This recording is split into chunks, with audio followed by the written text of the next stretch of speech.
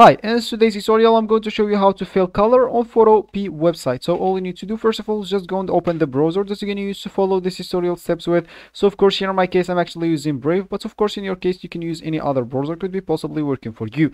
Then of course when you open your browser just go to the URL type photopea.com and hit the enter button and of course the URL section and you will be here at this screen which is going to be your home or your main screen.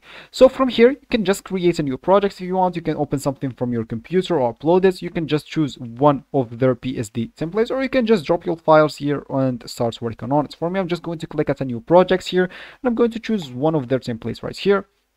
And of course, you will need to wait until it loads correctly into your screen. So once it loaded, as you can see, you'll see your full templates here and you'll see the components of that template right here at the right of course you can like delete move or edit on them and if you want to go back you did something you want to go back just hit the control z. Of course if you hit this multiple times you go to the original template.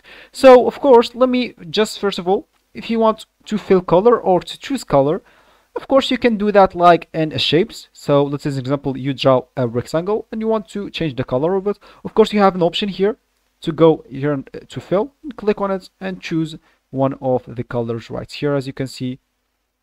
Or let's say as an example you want to change the color of a, a word right here. So you will need just to go here to the word as you can see. Wait let me just select this and go here to the word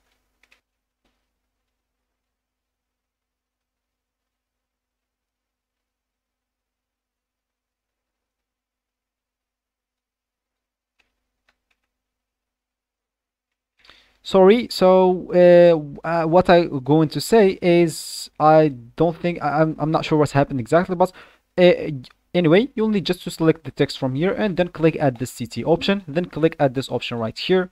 Of course to change the color you can like start selecting colors from here. Let me select like red and of course like you can select it or make it darker lighter do whatever you want. Then hit the ok button. And as you can see now the color has been changed. So this will be actually for this tutorial. I hope you like it. Thank you guys for watching it goodbye